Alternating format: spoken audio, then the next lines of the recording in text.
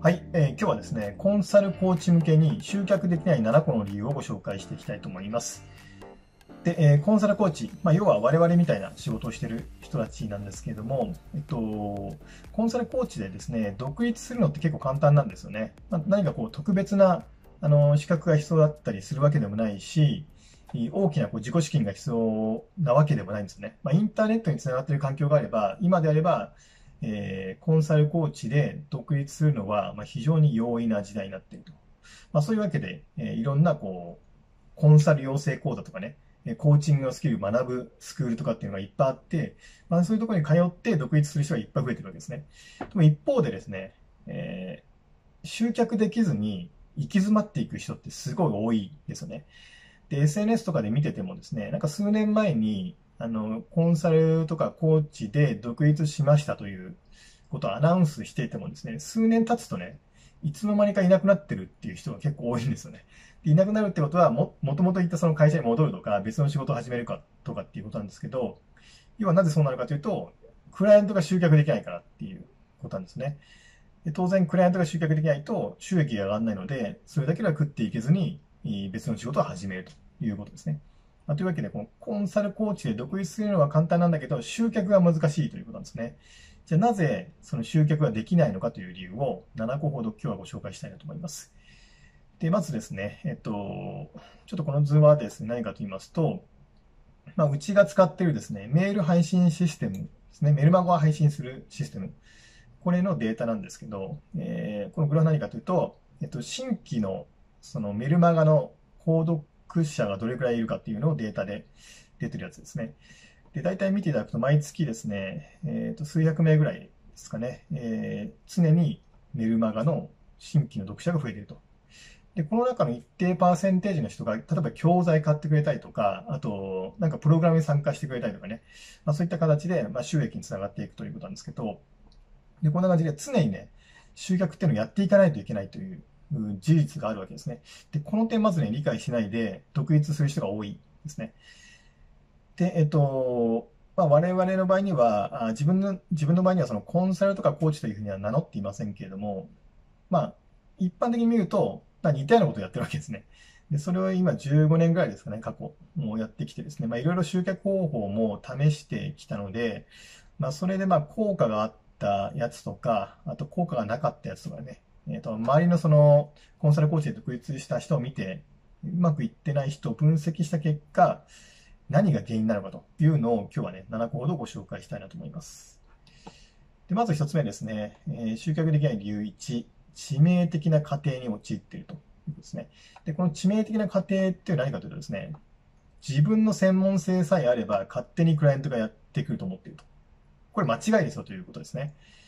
大体ですね、コンサルとかコーチで独立する人って、まあ、自分がこう得意なこととか、自分がその前職で培った専門知識、専門スキルをベースに独立するわけですね。でその専門性、自分の能力とかスキルとか知識が高ければ高いほど、クライアントはいっぱいやってきて儲かるだろうというふうに思ってるんですね。ただこれはとんでもない間違いで、えー、全くそういうことにはなりませんよということなんですね。で、これは致命的な過程ということですね。で、えっと、特にね、組織の中で仕事をしていてですね、えそれで独立するっていう場合には、注意が必要なんですね。何かというと、組織内で仕事をしている場合には、あの、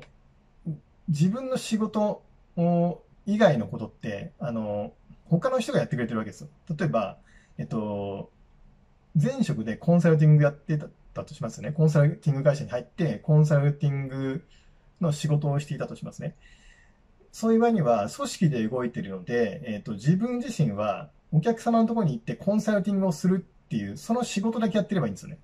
ただ、これが独立するとなるとですね、それだけでやっていけないんですね。やっぱり、そのお客様が例えば代金を回収するとか、そもそもそのお客様を見つけるとかですね、そういった他の仕事っていろいろあるわけですね。で、会社の中にいる場合には、そういう自分がコンサルティングするっていう仕事以外のことを会社としてやってくれてるわけですね。他の同僚とかね、上司とかがとかがやってくれてるわけです。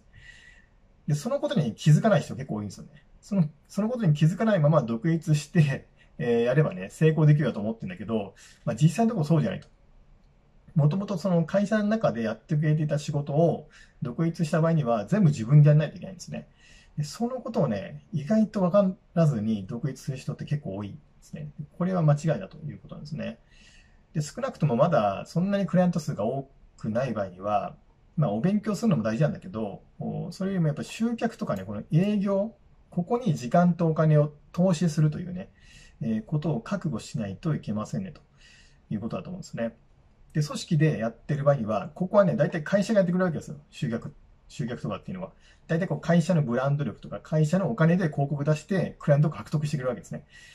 で、えー、その社員としてやコンサルティングやってる場合には、会社が集客してくれたお客様に対して、えー、自分がコンサルティングするっていうことなんですけど、独立する場合にはここを自分でやらないといけないんだけど、この大変さをね、知らずに独立するする人が多いと。で結果、集客できないっていうことがまあ非常に多いんですね。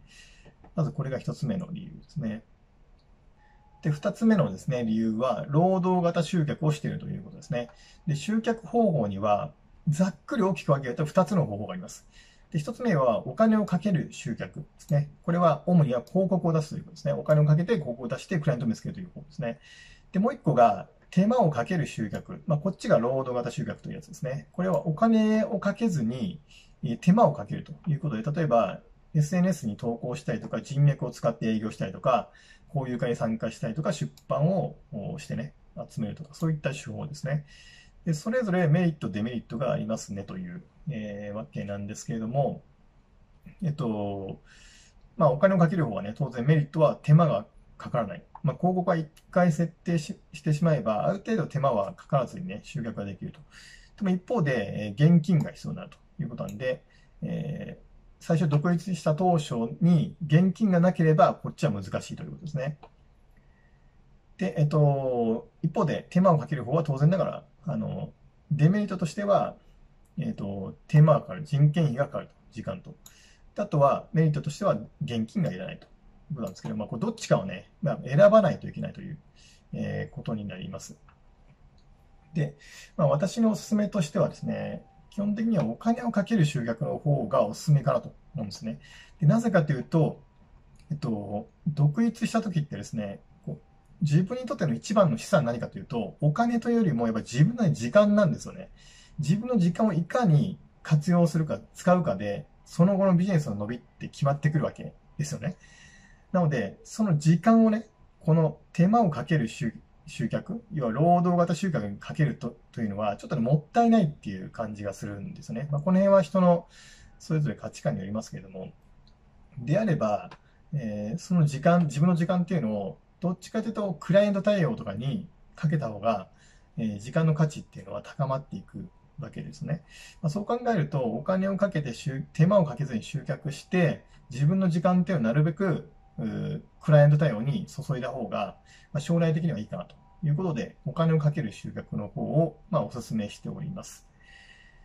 で、えー、一方でですね、えっと、コンサルの養成塾とか、あとコーチングのその、なんていうんですかね、スクールとか行くとですね、まあ大体ね、こっちの手間をかける集客の方をお勧めされます。要はお金をかけずに集客しましょうっていうことをね、お勧めされるんですけど、まあ確かにね、最初の方はいいかもしれないですけど、こっちばっかっていうとやっぱ時間がかかるんでね、なかなかその後の伸びが少ないなっていうのが、まあ自分の経験でもあるんで、えーまあ、最初はこっちの手間をかける方でいいかもしれませんけれども、徐々にお金をかける収益の方に移行していく方がいいのかなと思いますね。で、えー、まあ、考え方として、あのー、手間をかけずに集客する方法を見つけるよりも、お金をかけて集客してもちゃんとペイできるようなビジネスモデルを作った方が伸びがいいっていうね、まあ、ことがあるんじゃないかなと思います。まあ、多くの人はその無料で集客するっていうことにね、こだわりすぎてるって、まあ、いかにお金をかけずに集客するかっていうところにね、みんな頭使ってるんですけど、それじゃなくて、やっぱりお金をかけてもちゃんと収益が上がる仕組みを作るっていうことに、時間を投資した方が、えー、まあいいかなと思うんですよね。まあ、そういう意味で、このお金をかける方の集客をお勧めしたいなと思っています。で、これが集客できない理由二つ目ですね。手間をかける方。ところにばっかり時間を使っているとですね。まあ、こっちはね、やっぱノウハウかかるし、時間もかかるので、あまり、えー、まあ、お勧めできないということですね。で、3つ目の理由が、フロー型集客をしているということですね。で、これ別の動画で詳しく説明したんですけども、ちょっと集客のね、やり方を別の切り口で2つに分けるとね、え、ストック型集客とフロー型集客というふうに分けられますということなんですけど、えー、まずこの、ストック型集客の方を説明しますと、これはブログとかですね、交流会、コミュニティを主催するとか、YouTube とかね、紹介ツールを作るとか、まあ、こういったあ集客方法をストック型集客というふうに呼んでいます。これ何かというとですね、やればやるほど効果が積み上がるです、こういうふうに積み上がっていくということですね。例えば、ブログとかで言うとですね、1年前に書いたブログの記事っていうのは、あの、今になっても見てくれる人がいたりするわけですね。で、そこからこう新規のクライアントになってくれたりするっていう意味で言うと、まあ、1年前にやったやつが積み上がっていって、こう、今に生きていくっていう、まあ、そういう集客方法なんですね。で、YouTube とかもそうだし、まあ、紹介制度なんかも一回作っちゃえばそうですね。あと、交流会とかコミュニティっていうのも、これ自分で主催してればね、どんどん輪が広がっていくので、自分の。えこれも有効なストック型の集客、積み上がっていく集客というふうに言えます。一方のフロー型集客なんですけれども、これ何かというと、え同じブログにしてもですね、え時事ネタですぐに見られなくなってしまう記事ばっかり投稿してる人ですね。あと、Facebook 投稿とか Twitter 投稿も、これフロー型ですね。これは積み上がらないんですね。え例えば Facebook にしても Twitter にしてもですね、まあ、1週間ぐらい経つとですね、えー、その自分が書いた投稿っていうのはもう過去のものになってしまって、まず見られることはないわけですね。ということは、その1回投稿するっていう行為に対して、その効果が持続する期間っていうのが短いんですね。フロー型の集客っていうのは。なので、これは、どんどんその流れていってしまう。効果が流れていってしまうっていうのがこのフロー型集客ですね。逆にこのストック型集客っていうのは、自分が一回書いた投稿とかアップした記事っていうのが、1年後も2年後も効果をもたらすということで、この効果が持続する期間が長いってことですね。で、えー、まあ、フロー型集客で、えー、というとは、まあ、交流会とかコミュニティに参加すると。要するに主催するんじゃなくて参加する方は、このフロー型ですね。その参加した時にしか効果がないということで、えー、フロー型に入れています。まあ、こんな感じで分けられるということですね。で、えっと、まあ、これもね、えっと、おすすめとしてはストック型集客ですね、当然ながら。なんですけども、大体皆さん最初に取り組むのがこのフロー型集客。なぜかっていうと、こっちの方が手っ取り早そうで、えー、簡単にできそう、できそうだからみんなこっちやるんですよね。なので今、あの、コンサルとか、えっと、コーチの集客のね、えー、方法って考えるとみんなインスタにしゅ、インスタに投稿するとかね、こう Facebook とかね、Twitter で集客するとかっていう、そういうノウハウがいっぱい流行ってるんですけど、これ全部ね、フロー型ですね。その時にしか効果をもたらさないんで、あんまり私はお勧めできないんですね。こっちのフロー型の集客は、まあその時には効果あるかもしれないけど、もう1年後、2年後には効果がなくなるので、常に忙しい状態なんですよね。このフロー型集客をしている人って。常に時事ネタ探してブログ書いたりとか、常に時事ネタで Facebook とか Twitter やってるっていうことで、まあ、非常にこう忙しいんだけど、なかなかこう効果がね、積み上がっていかないので、常に忙しい状態になるっていうことなんですね。で、一方ね、えー、ストック型集客っていうのは、最初ね、時間かかるんですよ。えー、ブログもしっかり記事書かないといけないんで、結構ね、時間かかる。ただし、効果が積み上がっていくので、こう指数関数的にね、効果が、えー、出てくるということなんですね。まあ、という意味で、えー、おすすめはこのストック型集客。フロー型集客ばっかりやってると、忙しいけど、あまり効果が出ないっていうことになってくるということですね。これが3つ目の理由ですね。で、4つ目の理由は人脈集客しかしてないということですね。この人脈集客というのは何かというのは何かというと、要するに今まで自分が培ってきたあ人脈ですね。そこを辿って集客をするということですね。で、これもですね、当然ながら、あの、独立した当初はいいんですよね、これで。あの、大体の人は、これまでの人脈で、その、クライアント獲得するっていうことになりますんで、えー、独立した当初はいいんですけど、2年後も3年後もね、それしかやってないっていうのは結構ね、行き詰まりの大きなポイントになってきます。で、大体ね、その独立してうまくいかなく、すぐにうまくいかなくなる人って、これしかやってないパターンが多いですね。これまでのクライアントとか、これまでの人脈で何とかやっていけると思い込んじゃってるんですね。でも、残念ながらそうはいかないというのが、まあ実態なわけですね。で、この人脈集客しかしていないってことに関して補足の説明をしたいんですけれども、えー、まあ大体こう独立して、まあ自分のこう周りにいるね、既存の知り合いとか、あ昔のクライアントに声をかけて、えこう一本釣りでね、えクライアントを見つけていくっていうのがこう人脈集客ですね。一方でですね、こう自分が持ってる能力とか、そのコンサルティングのメニューとか内容とかね、これを求めてる人って世の中にいっぱいいるわけですね。で、そういう人たちを、要するに自分の人脈外のニーズがある市場、これを取っていくやり方を、このトゥアミ集客っていうことで書いてるんですけど、要するにまだ自分が知らない人たちですね。自分のことを知ってもらってない人たちにこうアプローチしていくやり方を、えー、トアミ集客っていうふうに呼んでます。で、大体この人脈集客でやっていきますと、まあ、よっぽどこう、なんていうかな、あの、コンサルティングの能力があるとかっていう人じゃないと、人脈集客だけだとね、1年ぐらいでもう枯渇しちゃうんですね、人脈が。なので、いずれこのトアミ集客の方、自分のことをまだ知ってない人にアプローチしていくっていうやり方をやっていかないといけないんですけど、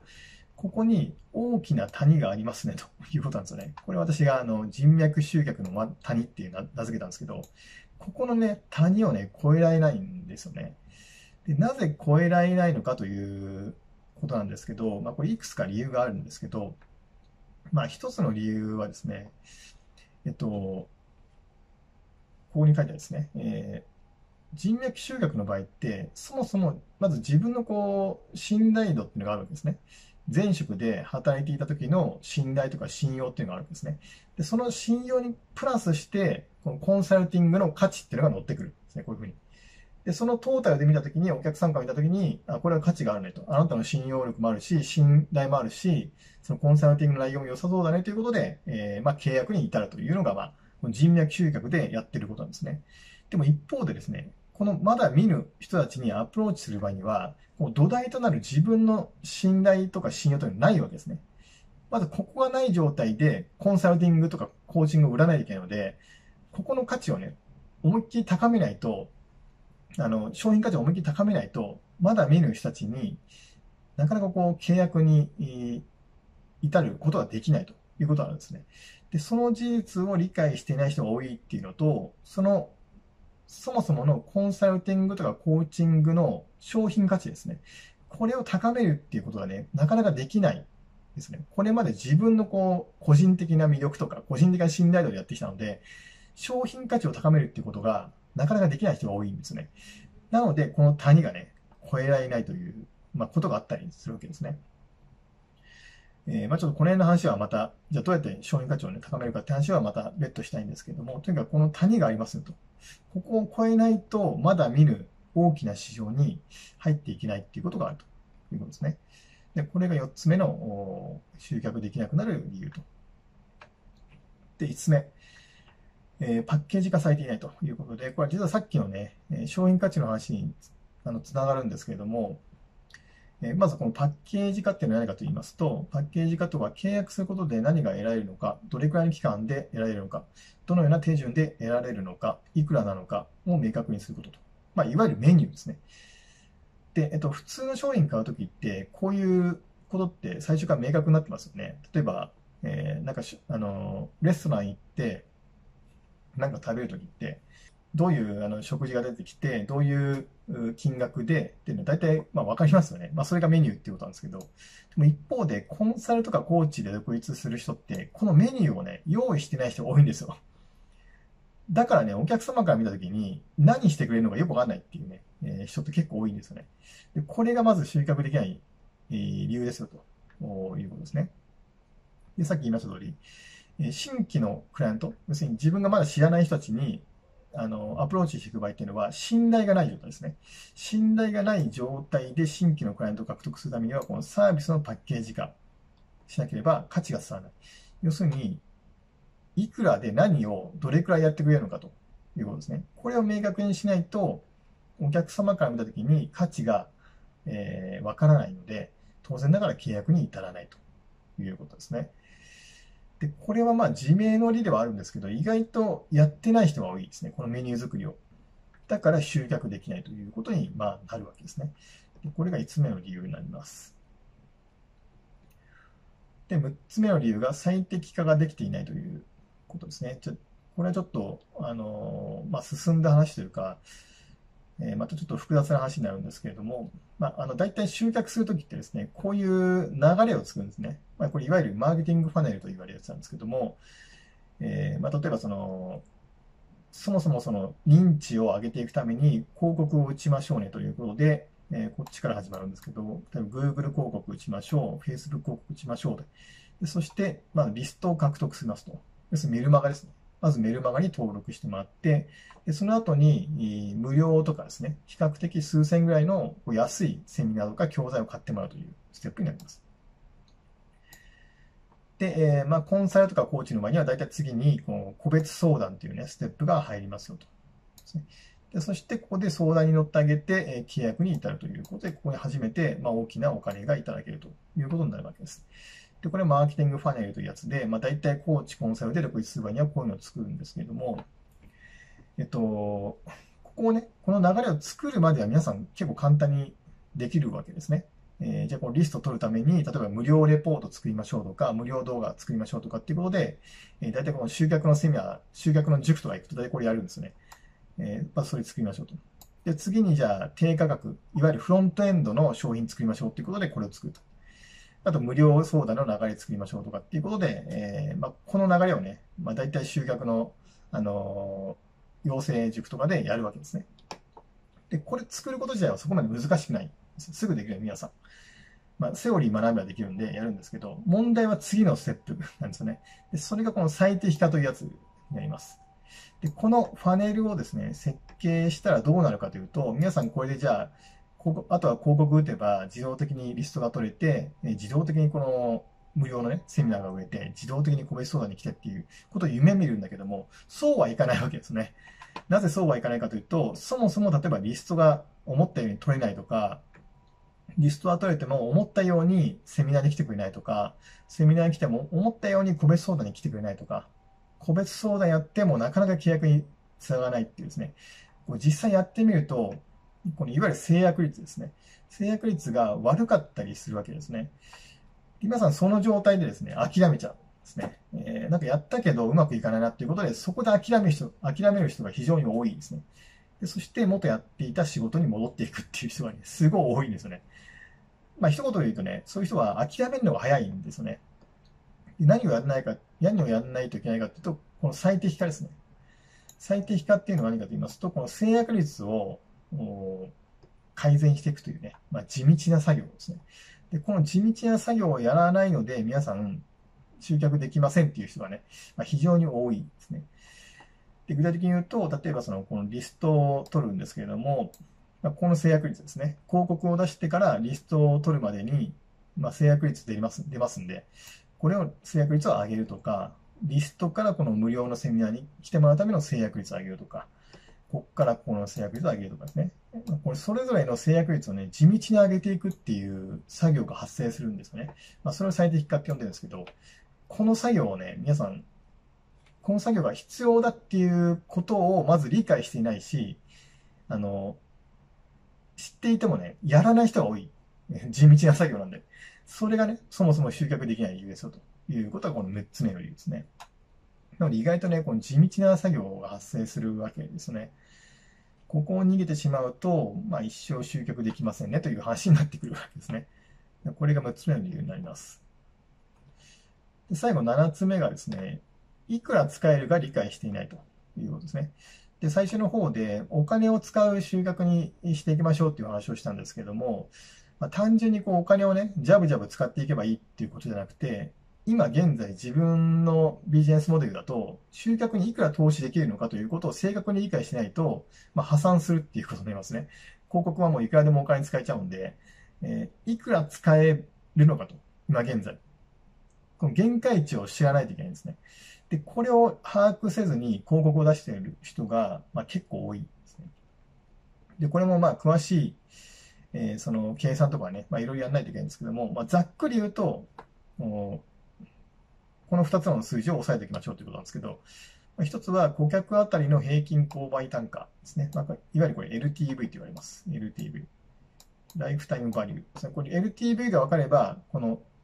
顧客あたりに使えるえ、広告費っていうのが、まあ、ざっくり計算できます。例えば、